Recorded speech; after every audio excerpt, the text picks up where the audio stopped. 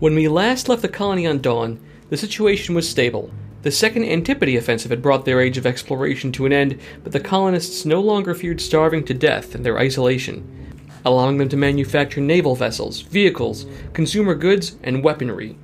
That's when the cracks began to form.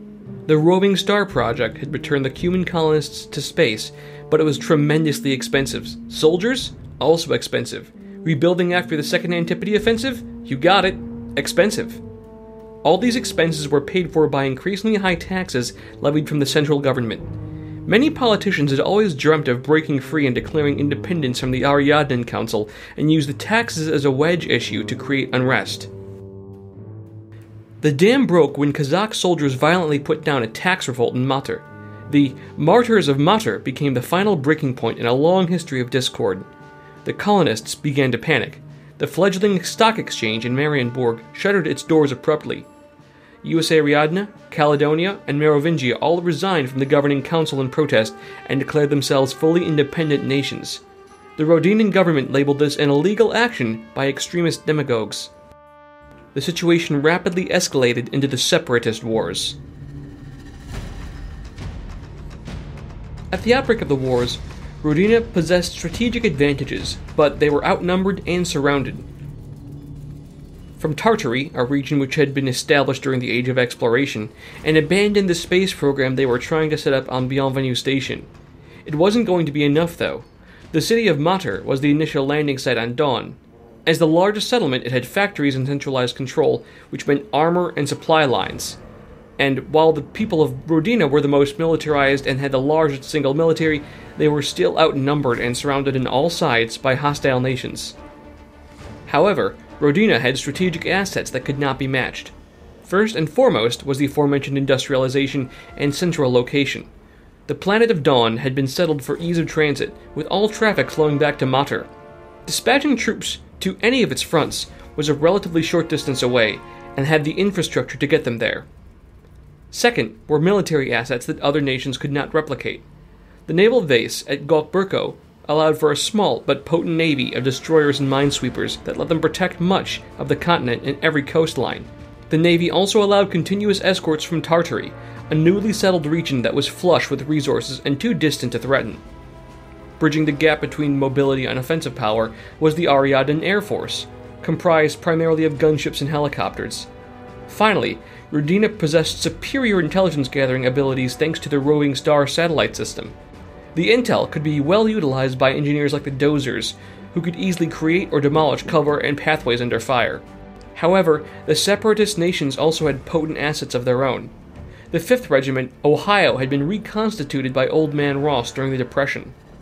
Their training was inspired by the American Delta Force, with specialized equipment for diverse team members. Although they were the best trained and equipped, they were hardly the only elite troops that the Kazakhs had to worry about. Rumors soon began to spread of the Unknown Ranger, a single U.S. Ariadnan trooper with the skills of 10, who sought vengeance for the death of his squad.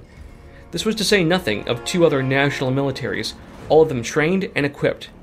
The 45th Highlanders had maintained a direct line of succession, going back all the way to the British Regiment from Earth, and that included equipment, tactical training, and dress uniform kilts. But for Rodina, their enemies were also their greatest assets. None of the newly independent nations wanted to see their neighbors thrive, and they refused any sort of coordination until it was too late.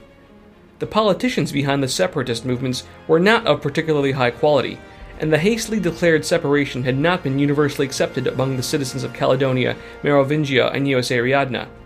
When the shooting started, the separatists were already fighting conflicts on multiple fronts, internal and external. The separatist wars were a series of conflicts with periods of peace and integration between them, alternating with bitter and bloody violence. On the one hand, you had time to professionalize the sport of dog bowl, which is similar to rugby or American style football, but played by dog faces on three lanes, with a certain focus on scrum, let's say. On the other hand, Caledonia was subdued with extreme force. Skara Brae was destroyed by the triumphant Kazakhs, and much of the city was never rebuilt. The Grande Armée Merovingienne, or GRM, caught in the middle of four warring nations, was repeatedly decimated.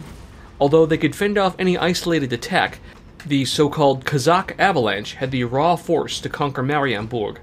The broken GRM was disbanded afterwards. The US Ariadnan state of Kennedy bore the brunt of the Cossack assault, and while they did slow the Rodinan troops, USA Ariadna was simply not coordinated or populous enough to force the Cossacks back. Every conquered country helped bolster the forces of the motherland. To the surprise of many, Rodina did not exert a totalitarian hand over its conquered foes. They focused their reprisals on the leadership that had caused this issue. The office of the president was de facto abolished in US Ariadna, even if the Americans refused to change their constitution. But there was no Red Dawn situation to defeat. Hard cases who expected to fight guerrilla warfare for years instead found their services unneeded. There were no occupying armies to strike, only fellow Ariadnans who were also trapped on this planet. Maybe it was time to unite.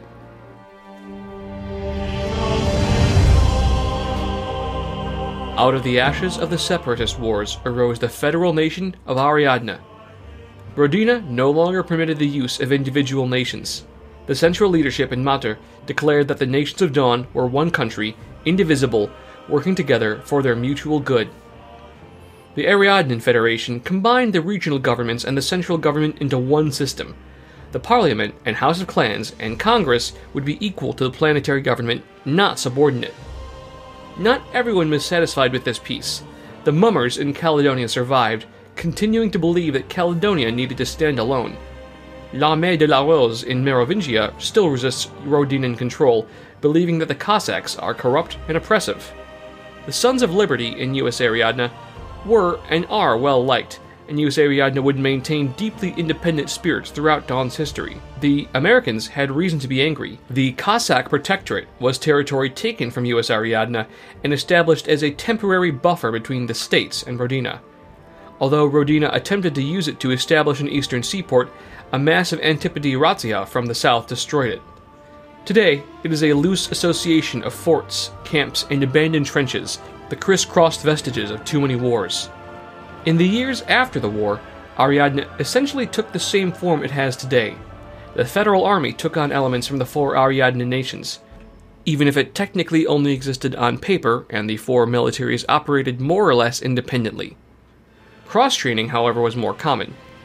Colonel Amélie Augier trained the elite Scots Guard, turning the 6th Regiment into a flexible and mobile unit.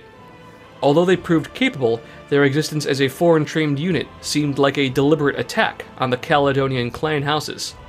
It probably was. Ogier died mysteriously, and the rumor has always been that it was the Cossack intel servants. Local Clyde Rannoch took over and that name is good and stereotypically Scottish, so it's probably fine. The Caledonians decided that the second in command was just as good.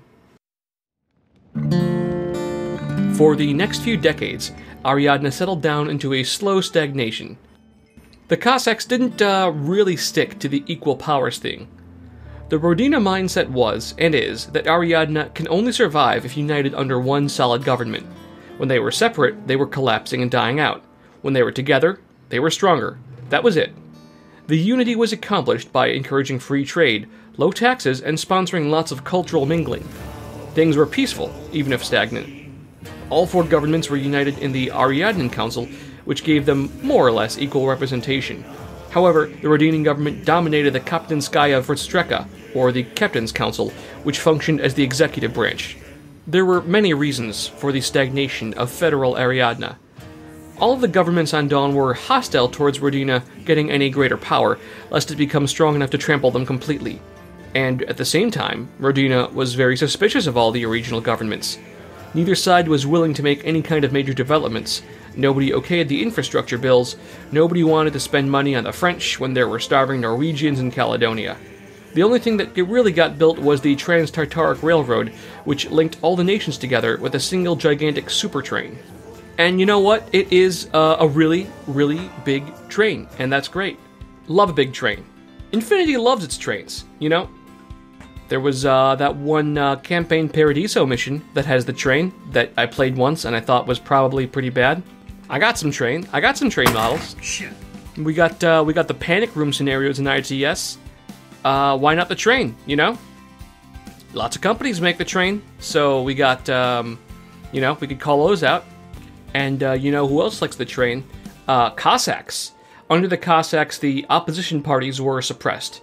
Draconian anti protest laws got passed. The Antipodes attacked again in what would be reckoned as 37 NC. It was the worst attack in more than a century. There was extremely poor coordination from the four states. The Ariadne Air Force was talented at bombing Antipode villages, uh, but soon they were going to be taxed with bombing their own people. In the last few years of Ariadna's isolation, the central government became increasingly paranoid and began a crackdown on illegal activity using the Commercial Trade Acts. This meant that a massive black market, run in part by the Irmandinos, would practically dominate the Ariadne economy.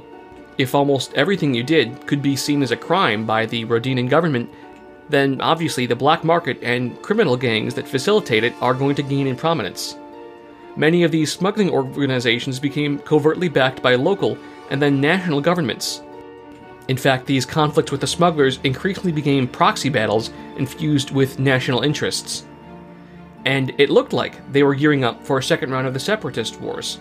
And uh, they probably would be, except for this crazy invasion of aliens from space with aimbot guns and big eyes and purple hair and fucking six with fucking jetpacks, and then they show Pan-Oceania. It was it was Pan-Oceania.